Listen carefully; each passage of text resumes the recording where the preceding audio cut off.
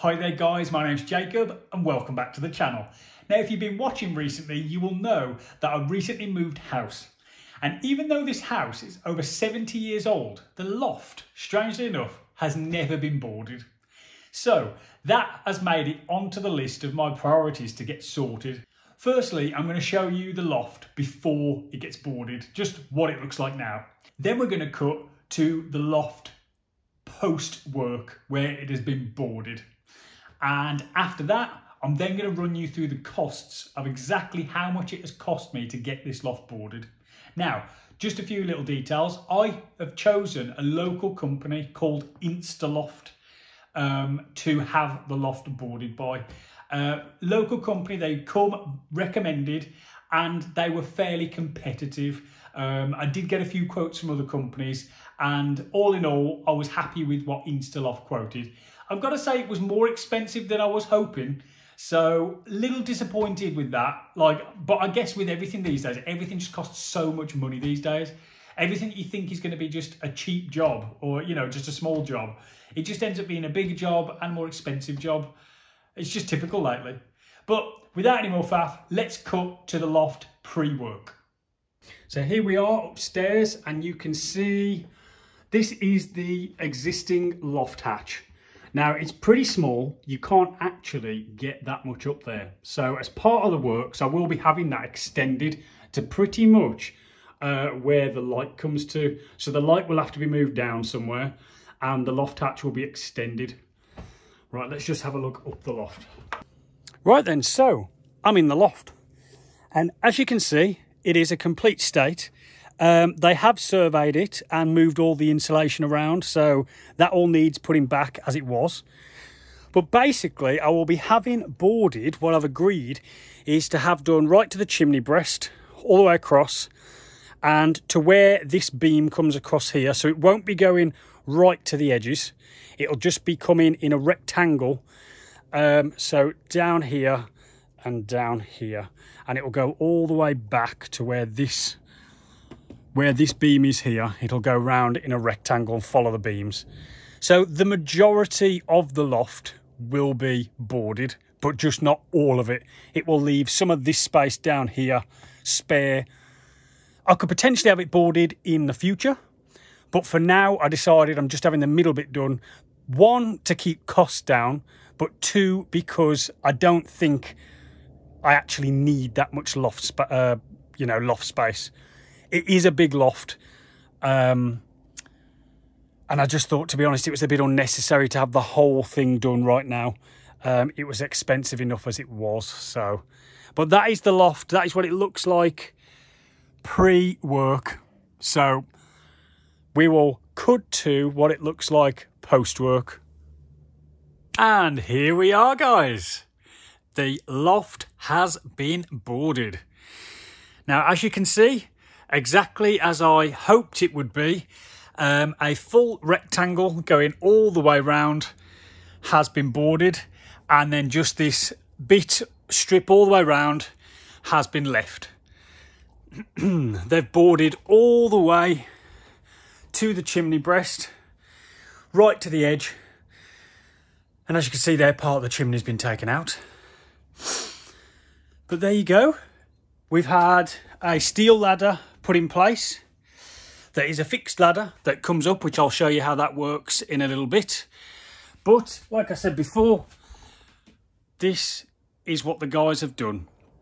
And I have to say, the two guys that came did an incredible job. It has been so hot lately, um, as I'm sure you're aware if you live in the UK.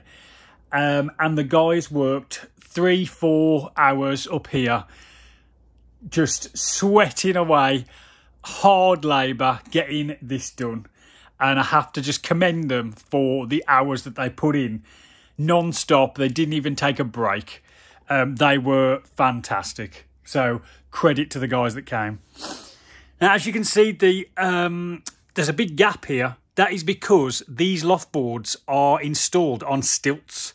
So there is kind of like a stilt taking it from the beam upwards. Then there's a steel rack and then the boards are placed on top of that steel rack. So they do sit quite high off the actual beams. That allows insulation to be put underneath um, with an airflow gap so it doesn't create any damp or anything like that.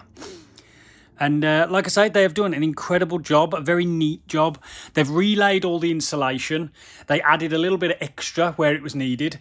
So we've got a lot of insulation up here now, uh, ready for the winter, which I'm really happy about. With it being an older house, um, I was a little bit concerned that it could be colder in the winter. And I'm, to be honest, I'm sure it will be.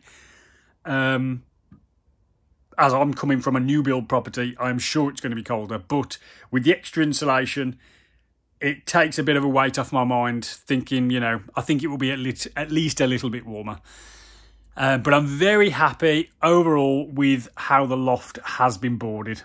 So I'm just going to get down now. I'll show you the ladder and then we will go through the costs of ultimately what this has cost me to have done. Right then, I'm just now out of the loft and I just thought I would show you the steel ladder. And of course, the new hatch. As you can see, it is a lot bigger than the last one.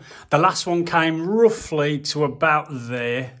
So you could just about get a person through it, but not a lot of anything else. They have extended this all the way to make it a really big hatch. Uh, and amazingly, the light did not have to be moved. So quite happy about that.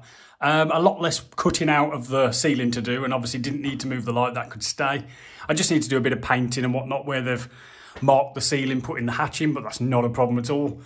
But really happy with, like I say, the new fold away ladder that folds straight into the loft and the new hatch as well. Right then, let's talk about costs.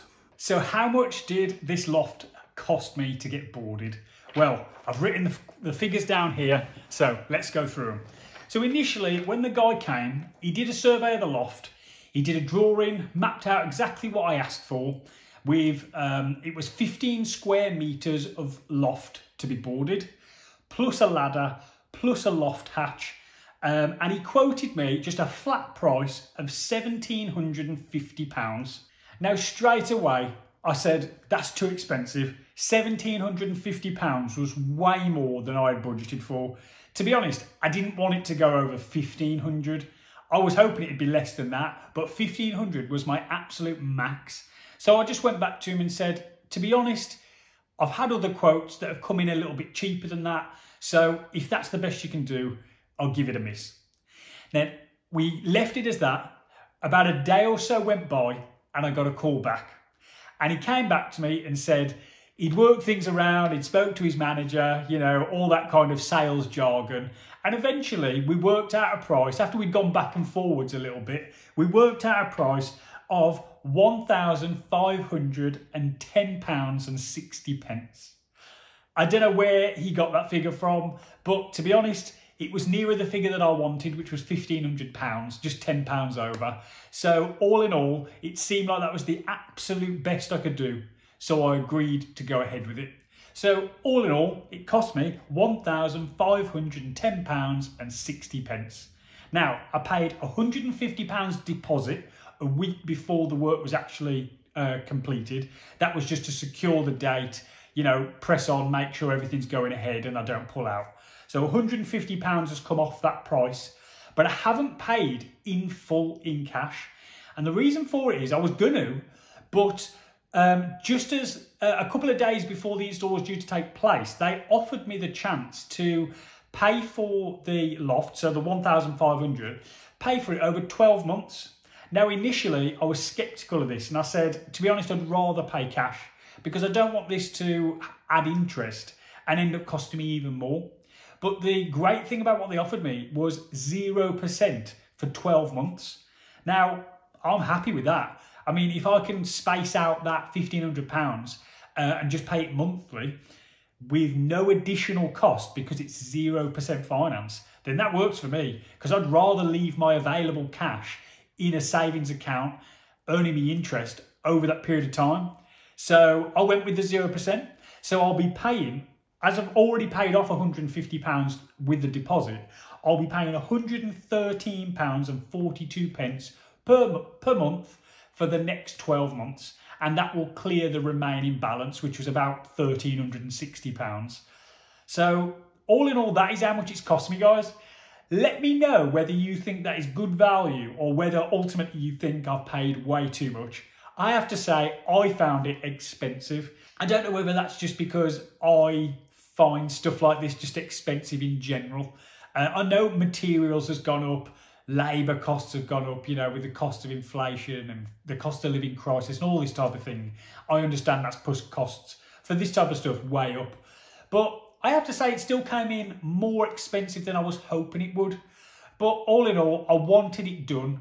Um, I needed it done. I've got stuff waiting to put in the loft. My second bedroom needs to be cleared out. Um, and as we plan on living here for the foreseeable, this for us is a long-term house. It's not a short-term house. If it was short-term, I probably wouldn't have had it done. But as we want to live here long-term, potentially this is our forever house, then to me it seemed like a worthwhile investment.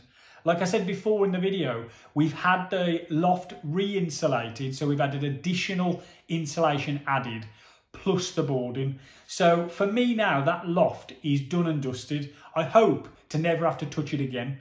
Um, it's insulated to a very good standard. The boarding has been done to a very good standard. And to be honest, I think I've got more than enough boarding, probably a lot more than I need. So I don't see myself having to spend any more money on that loft, I hope. Um, so it, it seemed to me like a worthwhile thing to get done, which is why ultimately, even though I found it, to be honest, a little bit on the expensive side, I went with it and we've had it done. And I'm glad we've had it done because I actually think it looks great. They've done a very good job of it. And I'm really happy with the guys at Instaloft. Um, so there you have it, guys. If you enjoyed this video, please consider hitting the like, hitting the subscribe button, leave me a comment down below. And guys, I'll catch you in the next one.